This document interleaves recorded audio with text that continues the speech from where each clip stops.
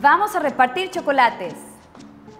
Tengo esta caja y vamos a dibujar en cada espacio un chocolate. ¡Listo! Ahora vamos a contar la cantidad de filas que tengo.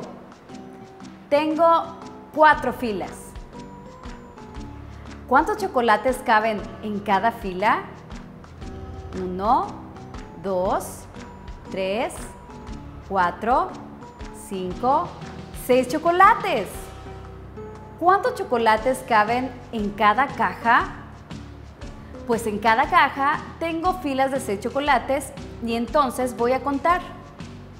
Si en la primera fila tengo 6, pues en la segunda fila ya tengo 12. Y contando puedo ver que en la tercera fila ya tengo 18. Y en la cuarta fila tengo otros 6 chocolates que en un total me dan 24. 6 por 4 es igual a 24. Y si esos 24 chocolates los queremos repartir entre tres personas, ¿Cuántos chocolates le tocarán a cada una? Vamos a repartirlos. 1, 2, 3, 4, 5, 6, 7, 8 chocolates a este niño. Y ahora la niña.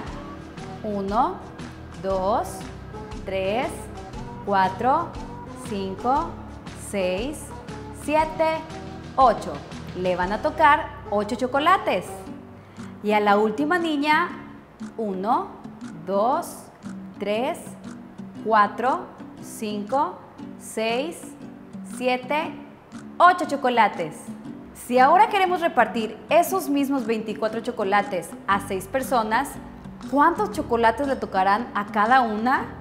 Al primer niño le tocan 1, 2, 3, 4 chocolates. A la segunda niña, otros cuatro chocolates. Al tercer niño, otros cuatro chocolates. A la cuarta niña, otros cuatro chocolates. A la quinta niña le vamos a dar otros cuatro chocolates.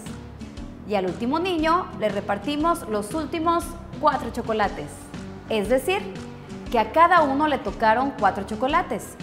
Si esa misma cantidad de chocolate se la repartimos a cuatro niños, ¿Cuánto le tocarán?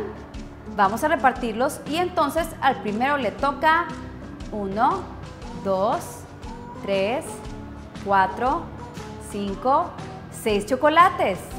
A la segunda niña 1, 2, 3, 4, 5, 6 chocolates. Al tercer niño 1, 2, 3, 4, 5, 6 chocolates. Y a la última niña, 1, 2, 3, 4, 5, 6 chocolates.